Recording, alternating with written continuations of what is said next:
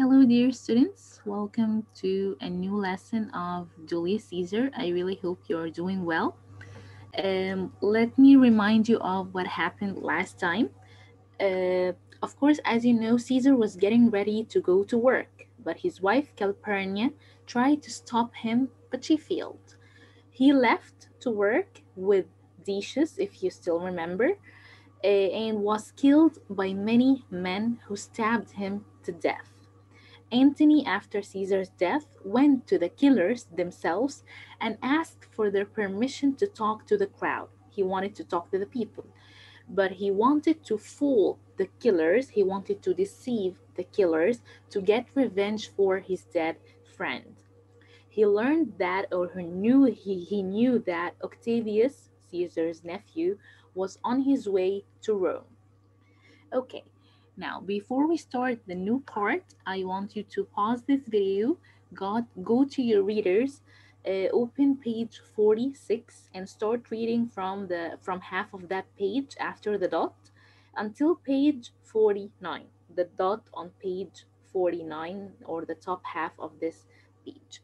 And on the cd i want you to play uh, these two tracks e and f because these two tracks uh, are the ones reading the part which we are discussing today okay so uh, now let's go to the events of our uh, readers today.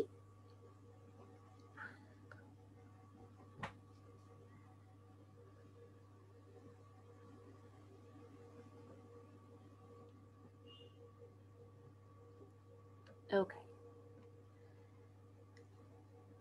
Of course, you know that after you that you have read the part I told you to read, uh, the next day after and to and to Antony talked to the killers, the next day Brutus spoke first to the people. He wanted to explain the reason why they killed Caesar. He told them that he killed or they or he had killed Caesar because he loved Rome more than anything else. And the crowd, of course, cheered for him. They were happy with Brutus and said that Brutus should take Caesar's place. So Brutus wanted to win the people's support. That's why he spoke first. He didn't want to let Antony anger the people. He said they killed Caesar for Rome, and it was all for the good and for the sake of people and for the sake of Rome. That's why the people cheered for him. Antony spoke next after Brutus. He told the people that Caesar had been a great man and that he had refused to become king three times. However, they must believe Brutus because he was an excellent and an honorable man. So, if Caesar had wanted to become king, he could have been king because he had been offered the crown three times. But he had refused all of this. He didn't want to become king. Antony said that Brutus was an excellent and an honorable man. He didn't want to attack him with words. But was that true? Did Antony really mean this? No, he didn't mean this at all. Antony was a very good talker. He wanted to win Brutus and he wanted to win the crowd at the same time. That's why he said what he said. He said this because, as I mentioned, he didn't want to attack Brutus directly with his words. After that, Antony told the crowd that they should be angry with Brutus and Cash and Cassius or Cassius, but they wouldn't be angry with them because they are excellent men. So he wouldn't he wouldn't say anything bad about them, and the crowd agreed with Antony.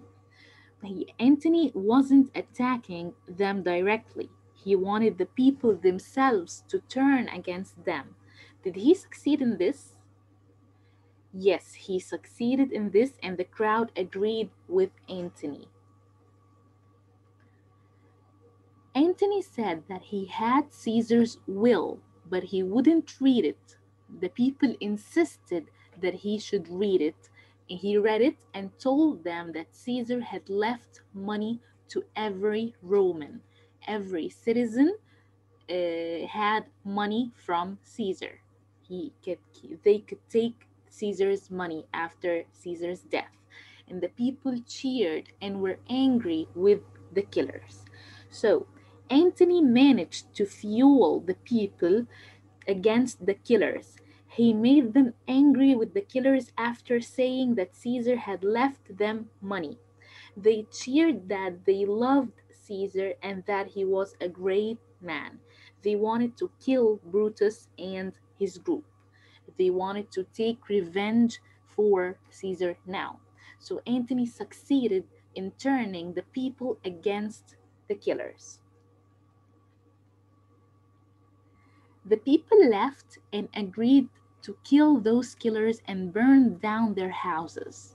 Antony learned that Octavius had arrived in Rome and that Cassius and Brutus had left the city. Antony met Octavius and they decided to take revenge. So the people left to chase the killers. They went after them, after Brutus and Cassius and their group. Antony felt that he had done a good thing. He had succeeded in what in what he wanted to do. He learned that Octavius was in town. He arrived, and Brutus and Cassius left the city. They left Rome. He and Octavius decided to unite, to join their armies, join their forces, and get revenge. Now, what do you think would happen next? Would Octavius and Antony fight Brutus and Cassius? And who would win this fight if it happened? Well, this is something that we should see next time, inshallah.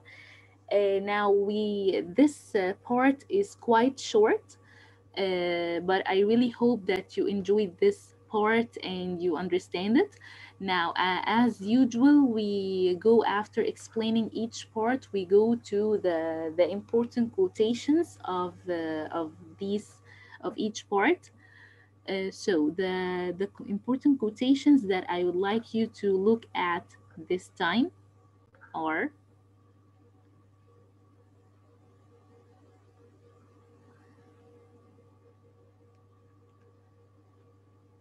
Did you want him to live and make you all his servants? Who do you think said this? From the picture, you could you get to see that it is Brutus exactly, and you will find this quotation on page 46. Now let's see the full answer. These words were said by Brutus to the people of Rome he decided to speak to the crowd first before Antony to say the reason for Caesar's murder. Okay, the following one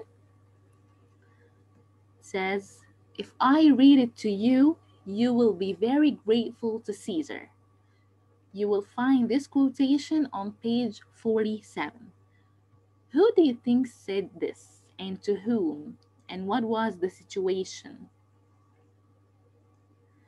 Exactly, it was Mark Antony. So Mark Antony said these words to the people of Rome. He showed them Caesar's will, in which Caesar gave money to every Roman. He planned to turn them against the killers as part of his revenge.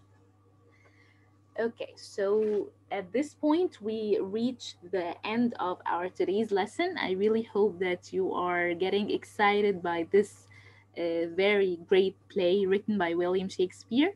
And next time, inshallah, we will in we will finish this play. And if you have any questions, please don't hesitate to bring them to class. Thank you very much and see you in another video.